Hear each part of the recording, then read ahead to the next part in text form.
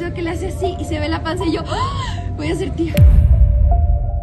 Para todo el mundo, Ángela Aguilar y Nodal ya andan juntos y hasta hacen vida marital lejos del ojo público, viviendo un romance que evitaron, ya que Angelita estaba bajo el control de su padre. Pero ahora hasta fotos y videos hay en internet de ellos apapachados. Los jóvenes han sido captados en diferentes partes juntos, desde México hasta en Roma y Texas. Sin embargo, en medio de este silencio, los usuarios han revivido el épico momento en el que la cantante mexicana reacciona al embarazo de Kazu y Nodal, por el que fue blanco de críticas. En abril del año pasado, 2023, Ángela Aguilar fue abordada por los periodistas sobre qué le parecía la noticia del embarazo de Kazu y Nodal, y la joven se mostró muy feliz y contenta por ellos. Ya le escribí. Bueno, a Cristian no, a la Kazu le escribí en un comentario, pero qué bonita se veía, se expresó sonriente. Incluso al contar que se de la noticia a través de TikTok, aseguró que dijo, voy a ser tía, dejando ver el afecto de hermano que le tenía a Nodal.